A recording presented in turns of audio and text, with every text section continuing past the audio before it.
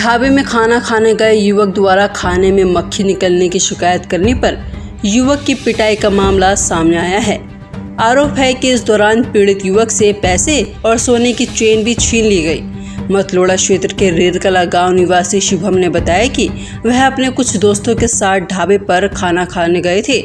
खाते वक्त खाने में मक्खी निकली तो उन्होंने इसकी शिकायत ढाबा संचालक से की। इस बात पर उनकी कहा सुनी हो गई। जिसके बाद वह बिल देकर वहाँ से चले गए। आरोप है कि ढाबा संचालक ने कुछ दूर जाने के बाद उन्हें पकड़ लिया और उनके साथ मारपीट की।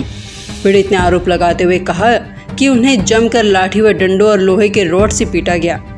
इस दौरान उसके पैसे और सोने की चेन भी छीन ली गई।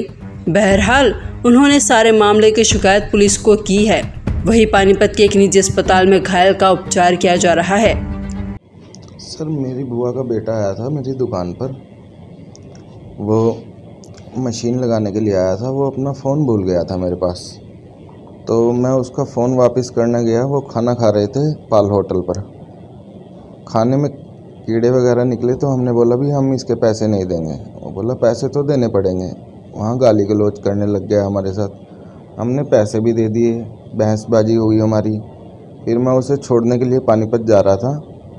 हम चार लोग थे।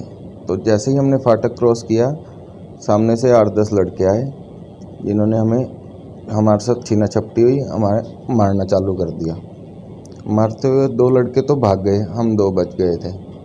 मैं और मेरी बुआ का बेटा, हमारे साथ काफ़ी ज़्यादा पच्चीस तीस मिनट मारपीट करने के बाद, फिर उन्होंने हमें होश में लाया, एक्टिवा पर बिठाया और बोले, अब जाओ।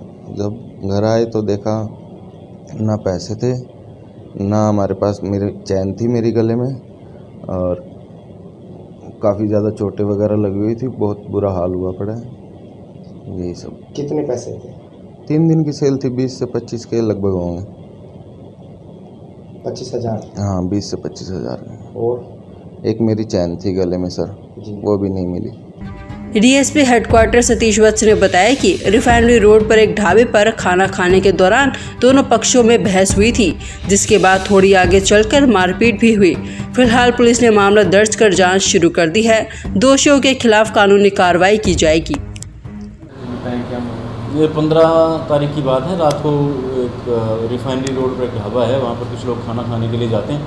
तो उस खाने में आ, कोई जो खाना खा रहे थे, उन्होंने कहा कि भी मक्खी है इसमें, और उस बात पर कहा सुनी हो गई। तो इस बात पर, फिर बाद में, उसी समय बाहर आके, और जो ढाबा मालिक थे, उसने कुछ लोगों के साथ मिलके उनकी पिटाई कर तो इस बारे में अभी कल एफआईआर दर्ज हुई है मतलौटा थाने में।